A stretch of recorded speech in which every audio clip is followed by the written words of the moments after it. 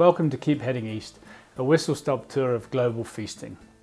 I'm Murray from the YC Cookery School, and if you're joining us again, then welcome back. If you're joining us for the first time in this series, then you've joined us in San Sebastian, for us the food capital of Spain, and the third stop on our global tour of feasting. You can check out the main introduction for this video series by clicking the on-screen link below and in the description there's also a link for our free PDF cookbook with all of the dishes to come out of our own kitchen and in this series. If you prefer a hardback copy, then there's a link there as well. So let's get into it. San Sebastian is a small town in the Basque country, in the north coast of Spain, very close to the French border.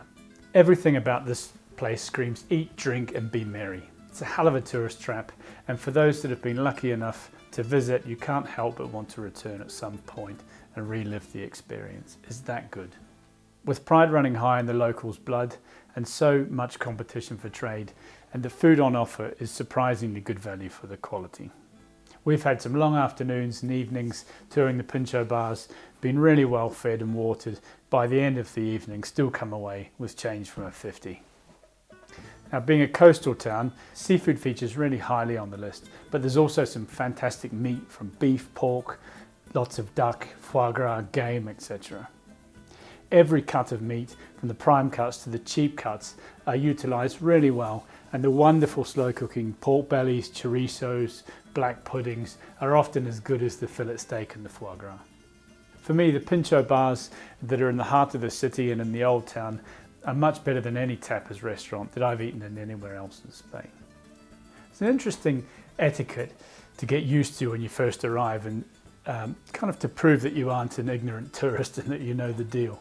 Firstly, as you approach the huge colourful buffet of cold pinchos laid out along the bar, don't be tempted to fill a plate, even if you're offered one.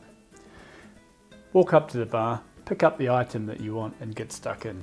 The pincho lean is this kind of strange yoga stance that involves bending forward from the waist like this, holding your hand out like this, and trying to eat so that you don't get anything on your shirt. It doesn't matter if you spill it all over the floor, just take a serviette off the bar, wipe your face, and throw it on the floor to mop up all the mess. It's a pretty common, it's a pretty common tradition there. It's actually a sign of a good pincho bar if you walk in and the floor is covered in rubbish, as it's a kind of a sign that uh, the food is worth eating.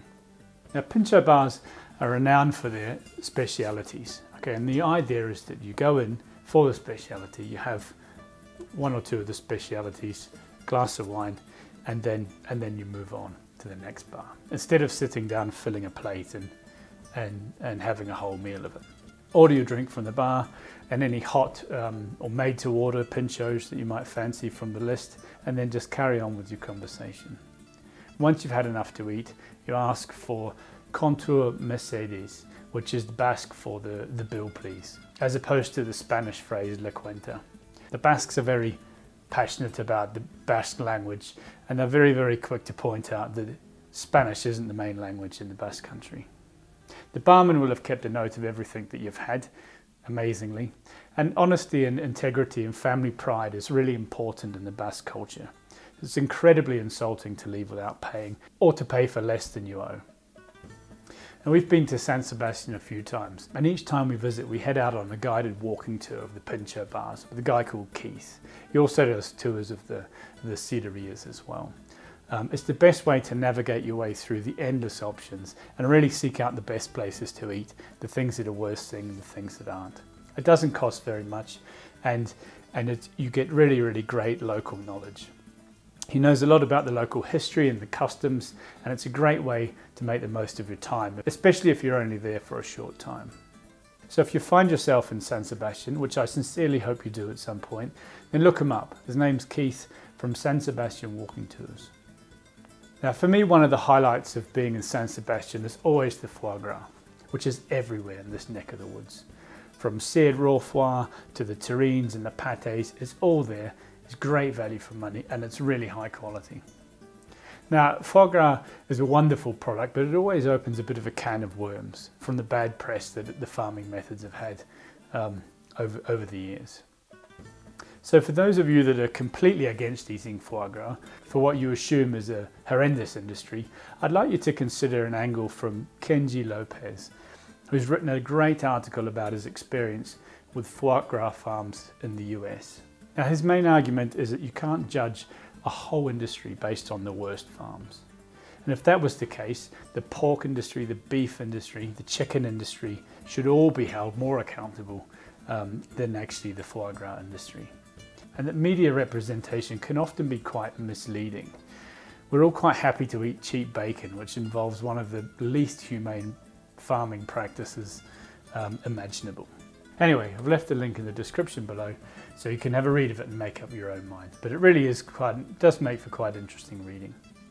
Now, as in Portugal, bacalhau is dried salt cod and a staple in this neck of the woods. One of my favourite pinchos in San Sebastian would have to be bric de bacalao.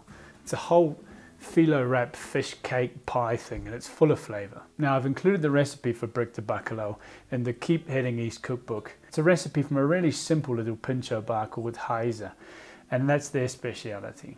The other recipe in the book this week is a slow cooked octopus dish with Basque spices, chorizo and potatoes.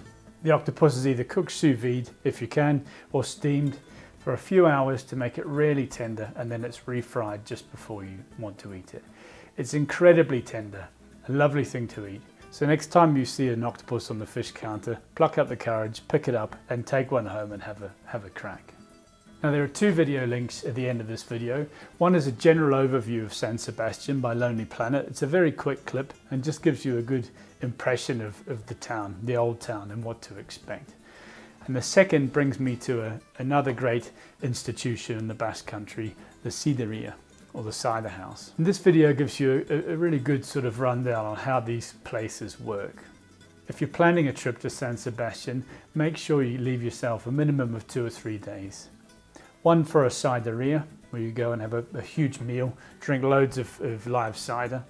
Another whole day and a night to lose yourself in the old town, gorging on pinchos and the local txakoli, the, the white wine. And if you can stretch to a day on the beach, it's a lovely beach.